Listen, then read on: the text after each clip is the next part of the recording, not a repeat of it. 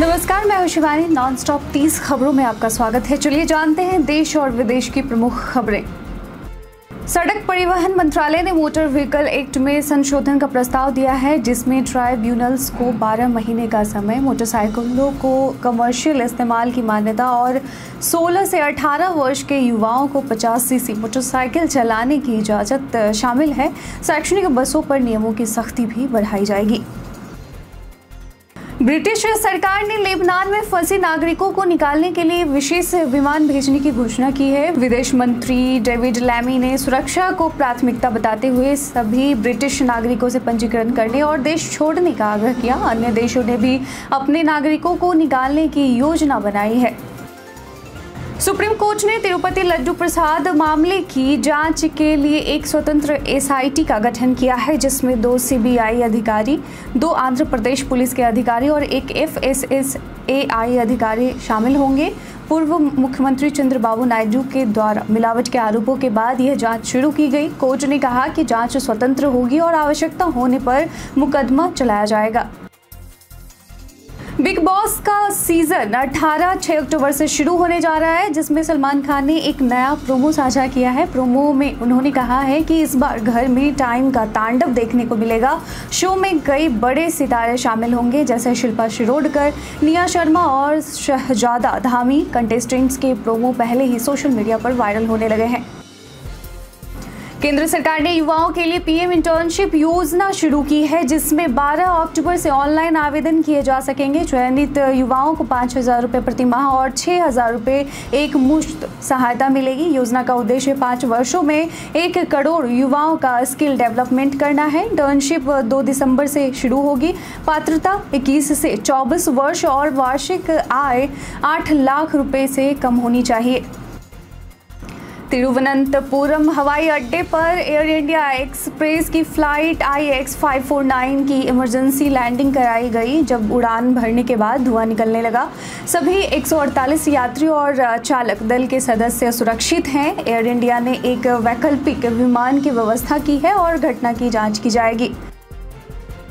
आलिया भट्ट और शर्वरी वाघ की spy thriller film Alpha की रिलीज़ डेट 25 दिसंबर 2025 को तय की गई है। यशराज फिल्म्स ने इंस्टाग्राम पर इसकी घोषणा की, जिसमें कहा गया है कि दर्शकों को एक्शन से भरपूर छुट्टी का आनंद मिलेगा। फ़िल्म का निर्देशन शिव रवैल ने किया है। ऋषभ पंत आज अपना सत्ताईसवां जन्मदिन मना रहे हैं। हाल ही में उन्होंने बांग्लादेश के खिलाफ टेस्ट सीरीज़ में वापसी की, जिसमें पहले मैच में शतक लगाए। युवराज सिंह ने सोशल मीडिया पर उन्हें खास अंदाज में बधाई दी। उन्होंने लिखा कम किंग को जन्मदिन की शुभकामनाएँ, कड़ी मेहनत करो और निडर बने रहो। आशा है कि आने वाला वर्ष पूर्णता वाला होगा। भगवान हमेशा तुम्हें आशीर्वाद दे। डिप्रेशन के शुरुआती लक्षणों का पता लगाने के लिए स्टीवन्स इंस्टीट्यूट ऑफ़ टेक्नोलॉजी के शोधकर्ताओं ने दो स्मार्टफ़ोन ऐप विकसित किए हैं। ये ऐप चेहरे और आँखों का विश्लेषण करके डिप्रेशन की पहचान कर सकते हैं। शुरुआती परिणामों में छिहत्तर प्रतिशत सटीकता से डिप्रेशन का पता लगाया, जिससे यह एक प्रभावी उपकरण साबित हो रहा है। भारत में चीनी स्मार्टफ़ोन ब्रांड्स जैसे one plus I Q O और पोको की डिमांड बढ़ रही है, लेकिन व्यापारियों के संगठन सी ए आई टी और ए आई एम आर ए ने इसका विरोध शुरू कर दिया है। आरोप है कि इन कंपनियों ने नियमों का उल्लंघन किया और भारी डिस्काउंट देकर भारतीय मोबाइल मार्केट को नुकसान पहुँचाया है। भारत का वुमेन्स टी ट्वेंटी विश्व कप 2024 में पहला मुकाबला न्यूजीलैंड के खिलाफ आज दुबई में खेलेगी कप्तान हरमनप्रीत कौर, को प्रमोट करके नंबर तीन पर बैटिंग करने का निर्णय लिया गया है। शेफाली वर्मा और स्मृति मंधाना ओपनिंग कर सकती हैं, जिससे टीम को फ़ायदा हो सकता है। रिलायंस जियो ने चार रुपये के प्लान की घोषणा की, जिसमें यूज़र्स को 28 दिनों के लिए रोज दो GB daily data unlimited calling 100 SMS और अनलिमिटेड 5G डेटा मिलेगा। इसके साथ ही 12 ओटीटी एप्स का फ्री सब्सक्रिप्शन भी उपलब्ध है, जिससे यूज़र्स को बड़ा लाभ होगा। पश्चिमी एशिया में ईरान के इसराइल पर हमले के बाद तनाव बढ़ गया है। पीएम मोदी ने सुरक्षा कैबिनेट समिति की बैठक में इस संकट और भारत पर संभावित प्रभाव पर चर्चा की। भारत ने सभी पक्षों से संयम बरतने और कूटनीति से समस्याओं का समाधान करने की अपील की है। इसराइल ने भी जवाबी कार्रवाई की धमकी दी है। यूजीसी नेट जून सत्र परीक्षा का परिणाम अभी तक जारी नहीं हुआ है, जिससे अभ्यर्थी नाराज़ हैं। उम्मीदवारों का कहना है कि एनटीए ने परीक्षा को पहले रद्द किया, फिर तीन महीने बाद पुनर्निर्धारित किया और अब परिणाम में देरी हो रही है। सोशल मीडिया पर छात्र तनाव और असंतोष व्यक्त कर रहे हैं। परीक्षा इक्कीस अगस्त से 4 सितंबर 2024 तक आयोजित हुई थी। भारतीय क्रिकेट टीम के पूर्व कप्तान महेंद्र सिंह धोनी के एक ज़बरदस्त फ़ैन गौरव कुमार ने उनसे मिलने के लिए 5,350 किलोमीटर साइकिल यात्रा की। गौरव ने पहले दिल्ली से चेन्नई का 2100 किलोमीटर का सफ़र किया फिर वापस दिल्ली आकर 1150 किलोमीटर साइकिल से रांची पहुँचे। धोनी से मिलने के लिए उन्हें एक हफ़्ते तक इंतज़ार करना पड़ा। भारतीय वायुसेना प्रमुख air chief marshal A P Singh ने कहा है कि वायुसेना किसी भी सुरक्षित चुनौती से निपटने में सक्षम है। उन्होंने एस 400 मिसाइल सिस्टम की उपलब्धता पर ज़ोर दिया और बताया कि भारत को आयरन डोम की आवश्यकता नहीं है। चीन के बढ़ते सैन्य इंफ्रास्ट्रक्चर पर नज़र रखते हुए स्वदेशी हथियार का प्रणालियों का विकास ज़रूरी बताया। एक अक्टूबर को गोविंदा के पैर में गोली लगने की घटना ने फ़िल्म इंडस्ट्री में हलचल मचा दी थी। उन्हें अस्पताल में भर्ती किया गया, लेकिन आज उन्हें डिस्चार्ज कर दिया गया है। गोविंदा ने अपनी सेहत के लिए सभी को धन्यवाद किया। आयुष्मान भारत योजना के तहत गूगल के सहयोग से स्वास्थ्य कार्ड डिजिटल रूप में गूगल वॉलेट पर उपलब्ध होगा। 2025 से लोग अपनी A B H A I D का उपयोग कर मेडिकल रिकॉर्ड साझा कर सकेंगे। यह प्रक्रिया तेज होगी, जिससे स्वास्थ्य सुविधाओं का लाभ गरीब और ग्रामीण परिवारों को आसानी से मिल सकेगा। योजना अब 70 साल से ऊपर के नागरिकों को भी कवरेज प्रदान करेगी। इसराइल ईरान तनाव के चलते भारतीय शेयर बाज़ार में गिरावट आई है, जिससे मुकेश अंबानी को भारी नुकसान हुआ। रिलायंस इंडस्ट्रीज़ के शेयर में लगातार तीन दिन गिरावट आई, जिसका मार्केट कैप सतहत्तर हज़ार छः सौ सात करोड़ रुपए घट गया। दूसरी ओर अनिल अंबानी की रिलायंस पावर के शेयर में भी गिरावट देखी गई, जबकि कंपनी ने चार हज़ार एक सौ अंठानवे करोड़ रुपए जुटाने की मंजूरी दी है। साउथ सुपरस्टार रजनीकांत को 30 सितंबर को पेट में दर्द के कारण चेन्नई के अपोलो अस्पताल में भर्ती किया गया था। उन्हें हार्ट से जुड़ी समस्या का पता चला, जिसे बिना सर्जरी के नॉन सर्जिकल ट्रीटमेंट से ठीक किया गया। 3 अक्टूबर को उन्हें अस्पताल से छुट्टी मिली। दिल्ली में मानसून की वापसी के साथ प्रदूषण का स्तर बढ़ने लगा है। पिछले 24 घंटों में औसत ए क्यू आई एक दर्ज किया गया, जबकि आनंद विहार में ए क्यू आई दो सौ इकतीस और मुंडका में ए क्यू आई दो सौ तिहत्तर जैसे उच्च स्तर देखे गए। पीएम 2.5 का स्तर डब्ल्यूएचओ की अनुशंसित सीमा से पाँच दशमलव पाँच गुना अधिक है।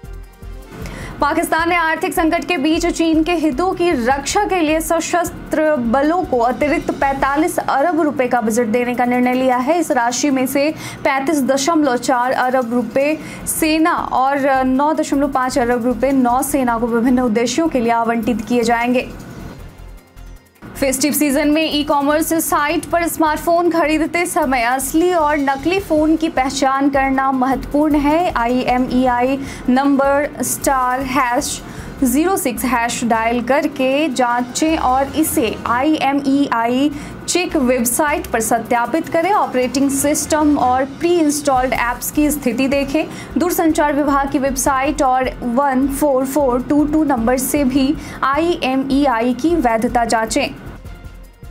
आज शेयर बाज़ार में भारी उतार चढ़ाव देखने को मिला। सेंसेक्स शुरुआती कारोबार में 300 अंक गिरकर बेरासी हज़ार दो सौ चौवालीस दशमलव दो पाँच पर खुला। लेकिन लेकिन कुछ समय बाद तिरासी हज़ार तीन सौ अड़सठ के उच्च स्तर पर पहुँच गया। अंत में सेंसेक्स 703 अंक गिरकर इक्यासी हज़ार सात सौ तिरानवे दशमलव एक छः पर आ, बंद हुआ। दर्शाते हुए अस्थिर बाज़ार की स्थिति। त्योहारों के मौसम में सोने की कीमतें ऑल टाइम हाई पर पहुँच गई है। 10 ग्राम सोने की कीमत दो सौ चौहत्तर रुपये बढ़कर पचहत्तर हज़ार सात सौ बासठ रुपये और चांदी की कीमत एक हज़ार अड़तालीस रुपये बढ़कर नब्बे हज़ार नौ सौ तीस रुपये प्रति किलो हो गई। हालाँकि सोना वायदा में तीन सौ छिहत्तर रुपये की गिरावट आई, जिस जिससे कीमत छिहत्तर हज़ार चौदह रुपये प्रति दस ग्राम रह गई है। केंद्र सरकार ने मराठी, पाली, प्राकृत, असमिया और बांग्ला को क्लासिक लैंग्वेज के रूप में मान्यता दी है, जिससे कुल ग्यारह भाषाएँ अब इस सूची में शामिल हो गई हैं। क्लासिकल लैंग्वेज वे भाषाएँ हैं जो भारत की प्राचीन सांस्कृतिक विरासत को संजोए हुए हैं। मान्यता मिलने पर प्राचीन साहित्य का डिजिटलीकरण, संरक्षण और प्रचार किया जाता है।